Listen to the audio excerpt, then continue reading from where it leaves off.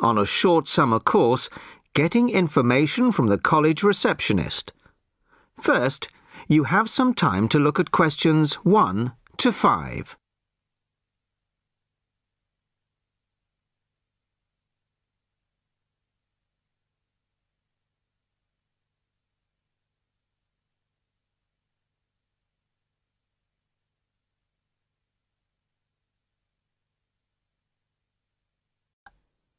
Now the test will begin. You should answer the questions as you listen, as you will not hear the recording a second time. Listen carefully to the first part of the conversation and answer questions 1 to 5. Sorry to keep you waiting. Okay, here's the information you need. On the first page, there's some info about the college, the facilities, the courses on offer, etc. Uh-huh. Then, on these blue pages here, there's an outline of the social activities. You see there, okay? Yes. Now, this part of the booklet here, the yellow pages, that's the main program starting at 9am tomorrow. 9 a.m. Okay. So, all the new students will be gathering in Herville Hall at 9 o'clock. Uh, sorry, where? Herville Hall. I'll spell it for you. It's H E R V I double L and then H A double L for hall, of course. It's the big white building by the entrance. Okay, I've seen it. Right. Anyway, you'll be in there for an hour. First, the Director of Studies will explain the various courses we offer and the requirements for them. Then, for the second half hour, the social organiser will tell you more about the social program and Saturday excursions. Is that all clear? Um, yes, I think so. Then where do I go after that? Ah, yes, okay. After the talks in the hall, there's a break. And then at quarter to 11, go to classroom 4 to have a placement test. Quarter to 11. This placement test is to find my level in English? Exactly. Then, after the test, all the new students are invited to a special welcome lunch. In the cafeteria? No, no, not for the welcome lunch. It's in a restaurant near the school, an Indian restaurant. Oh, okay. I don't think I've ever tried Indian food. Do you like spicy food? Yes, I do. Then you'll love Indian. Before you hear the rest of the conversation, you have some time to look at questions 6 to 10.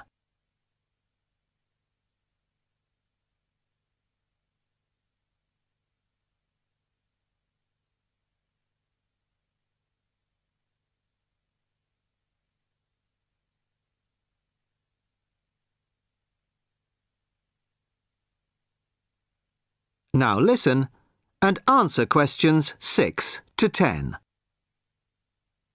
So, where's the Indian restaurant? Don't worry, it's really easy to find. Have you got that map I gave you? Uh, this one? Yes, that's it. See here, the main entrance to the school? Yes? Mm-hmm. Well, don't go out of there. Oh. There's a smaller entrance here, round the back. Oh, yes, I see. Okay, so you go out of there, past the phone box, and then turn right into this road here, the one that goes along the side of the park. Mm-hmm. You'll see a supermarket on the left, and then it's just after that on the right. Uh huh. It's quite a big place. You can't miss it. Okay. And one more thing. Is there a post office near here? Post office? Oh, yes, of course. Just the other side of the park. Go through the middle of the park, and it's there by the park entrance. Thanks a lot. You're welcome. Oh, there's a good cafe near here too. Very popular with the students. Just there. You go out of the main entrance into Varley Road, then turn left at the bank, and it's at the end of the street. They do amazing coffee. That's great. Thanks very much. No problem. Enjoy your course. Thanks again. Bye.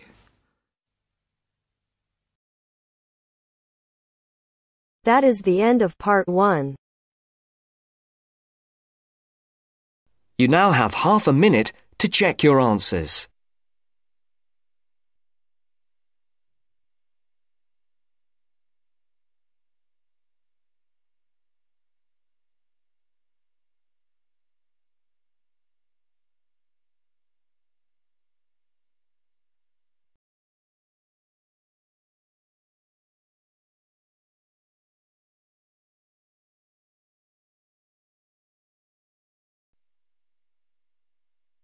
Now turns to part two.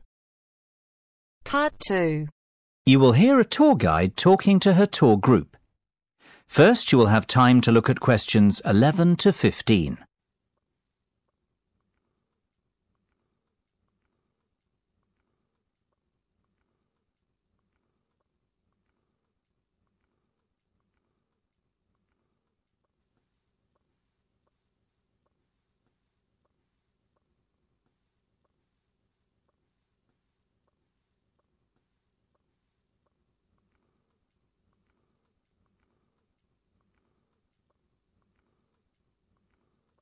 Now listen carefully and answer questions 11 to 15. Well, we certainly have a busy day ahead of us, so let's get started, shall we? You'll find a map of the museum with the itinerary I've just handed out. The museum's our first port of call, so uh, let's have a look at the map now. The door on the right of the entrance hall leads into the gift shop and ticket centre. Once we pick up our entrance tickets, I'd ask everyone to deposit their bags and coats in the cloakroom, which is located towards the back of the gift shop and ticket centre. If you want to pick up an information leaflet, you can approach the information desk situated along the right-hand side. Now, once you come back into the entrance hall, the door on the opposite side to the gift shop leads into the art gallery. There is a special exhibition on there at the moment which is not to be missed. If you continue on up the entrance hallway, that leads into the main exhibition centre. At the back left-hand side, there are some toilets. Beside the toilets, you'll find the 3D theatre. I strongly recommend that you make time for the 30-minute presentation in the theatre. It is well worth a viewing. Running along the right-hand side of the main exhibition centre is the Modern Art Studio. Here, not only can you view some of the most famous works of the 20th century, but you can also sit in on a workshop run by a local artist. So, that's the Art Museum. Before you hear the rest of the discussion, you have some time to look at questions 16 to 20.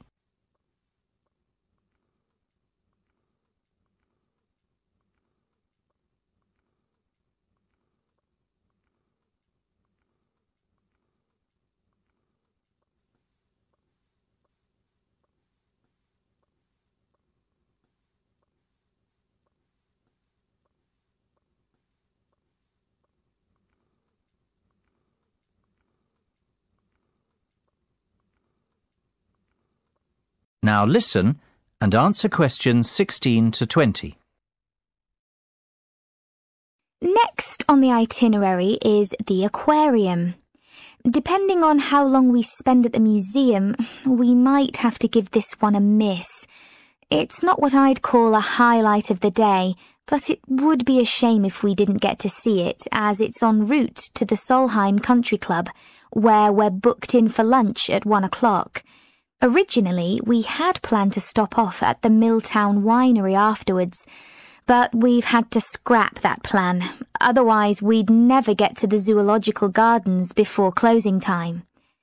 We have pre-booked the gardens and must be there by 2.30, so no dilly-dallying please after lunch. Straight back onto the bus. The gardens close at 3.30, so we've an hour there, which should give us ample time to look around. Time allowing, we'll stop off at the famous Stout Brewery after that, if traffic isn't too heavy, and we're in Lincoln before five. If not, we'll head straight for the National Concert Hall, where you're in for a real treat of an evening, with a performance from the world-renowned cellist, Andrei Borovsky. We have to be in our seats by 6.30 sharp. After that, it's back to the hotel for the night, where a buffet meal will be waiting for us at half eight, or whenever we get back. That is the end of part two. You now have half a minute to check your answers.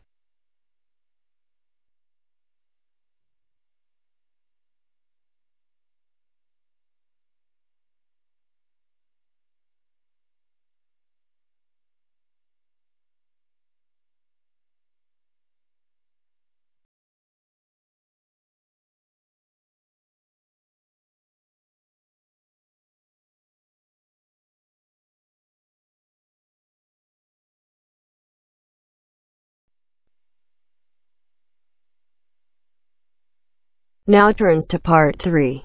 Part three. You are going to hear a lecture about the Miners Hotel. First, you have some time to look at questions 21 to 24.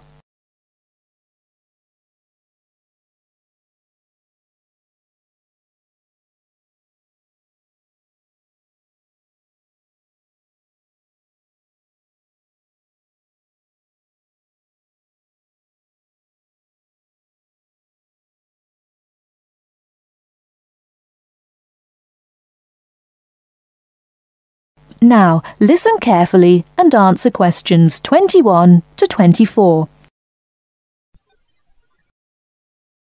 Good evening and welcome to the Miner Hotel. We are pleased to have you as our guest.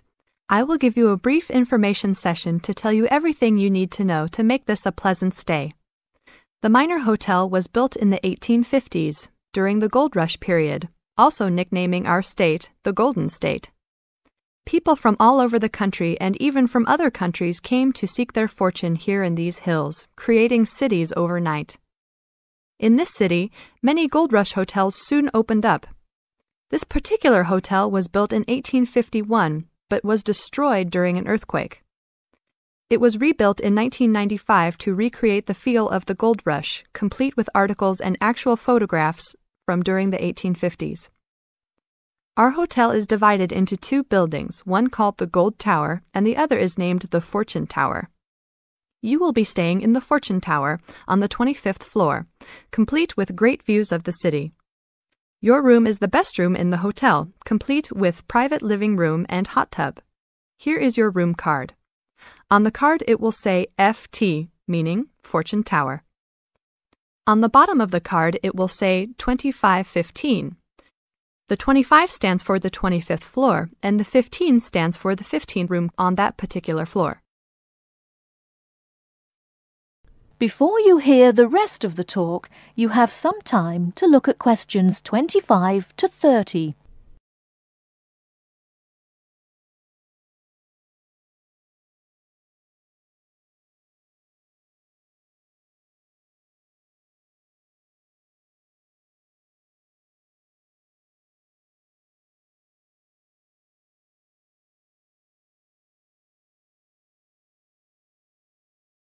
Now listen and answer questions 25 to 30. There are emergency exits in both towers of the hotel. They are located on the south side, opposite the elevators. Please use these in case of a fire or other emergency. We have some special events happening this week. Our Miners Diner is offering a special Miners Buffet dinner this Friday and Saturday for only $20 per person. This special includes all food, not including drinks and alcohol, and shows for the night. The buffet will be available from 5 to midnight. Because of the historical significance of our hotel, there are some special rules. The first rule is that there is no smoking allowed anywhere in the building, not even in your own room. This is not only to ensure the safety and health of our guests, but also the furniture and pictures can be easily damaged by smoke and other harsh treatment. Please remember that there are items of furniture over a hundred years old here, so respect the rules by not smoking. Secondly, please do not take pictures using a flash of any of the drawings and paintings in the rooms or hallways, as they are old and fragile. We are doing our best to preserve a national treasure, so please help us in doing so. Lastly, you will only have one set of towels and bed sheets per three days. This is to conserve the water supply, as there are frequent droughts this high up in the hills. If there are any further questions, the staff of the hotel will be available to answer your questions.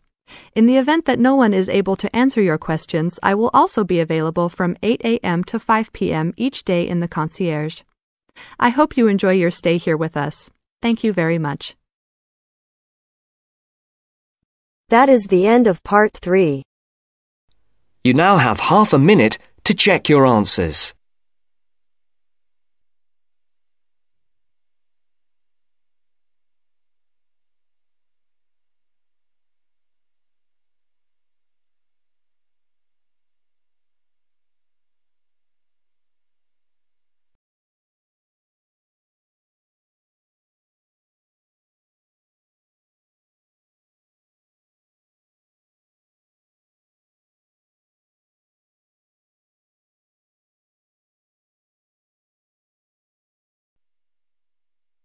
Now turns to part 4.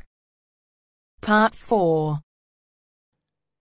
You will hear a part of a lecture about learning and bilingualism. First, you have some time to look at questions 31 to 40 on pages 44 and 45.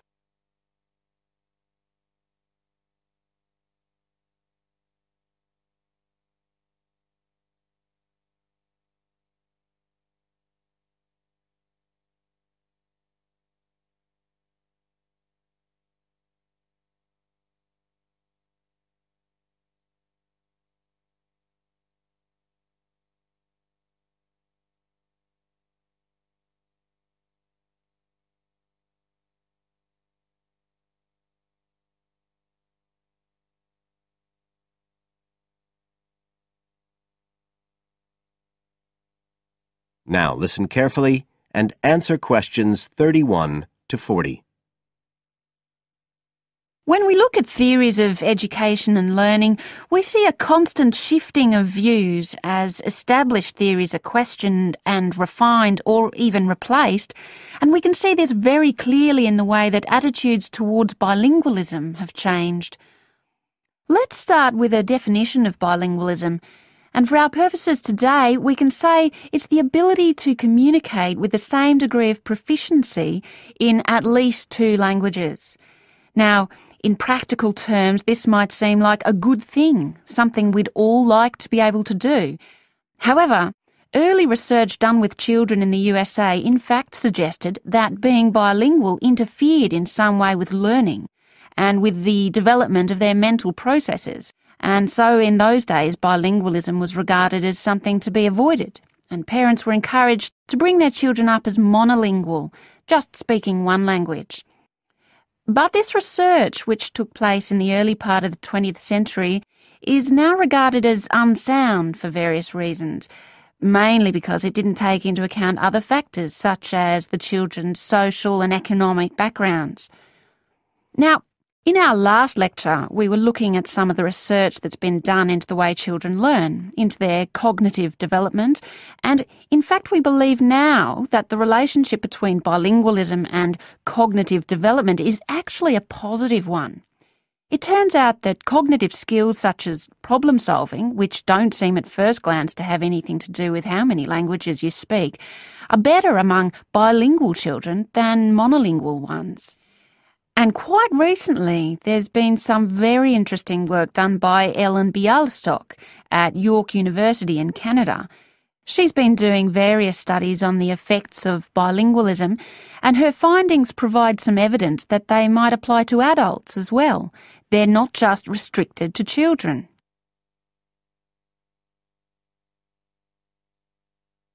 So, how do you go about investigating something like this? Well, Dr. Bialystok used groups of monolingual and bilingual subjects aged from 30 right up to 88. For one experiment, she used a computer program which displayed either a red or a blue square on the screen. The coloured square could come up on either the left hand or the right hand side of the screen. If the square was blue, the subject had to press the left shift key on the keyboard And if the square was red, they had to press the right shift key. So they didn't have to react at all to the actual position of the square on the screen, just to the colour they saw. And she measured the subject's reaction times by recording how long it took them to press the shift key and how often they got it right. What she was particularly interested in was whether it took the subject longer to react when a square lit up on one side of the screen, say the left, and the subject had to press the shift key on the right hand side. She'd expected that it would take more processing time than if a square lit up on the left and the candidates had to press a left key. This was because of a phenomenon known as the Simon effect, where basically the brain gets a bit confused because of conflicting demands being made on it in this case, seeing something on the right and having to react on the left. And this causes a person's reaction times to slow down. The results of the experiment showed that the bilingual subjects responded more quickly than the monolingual ones. That was true both when the squares were on the correct side of the screen, so to speak, and even more so when they were not. So bilingual people were better able to deal with the Simon effect than the monolingual ones. So what's the explanation for this? Well, the results of the experiment suggests that bilingual people are better at ignoring information which is irrelevant to the task in hand and just concentrating on what's important. One suggestion given by Dr. Bialystok was that it might be because someone who speaks two languages can suppress the activity of parts of the brain when it isn't needed. In particular, the part that processes whichever language isn't being used at that particular time. Well, she then went on to investigate that with a second experiment. But again, the bilingual group performed better. And what was particularly interesting, and this is, I think, why the experiments have received so much publicity, is that in all cases, the performance gap between monolinguals and bilinguals actually increased with age, which suggests that bilingualism protects the mind against decline. So, in some way, the lifelong experience of managing two languages may prevent some of the negative effects of ageing. So, that's a very different story from the early research. So, what are the implications of this for education? That is the end of part four. You now have half a minute to check your answers.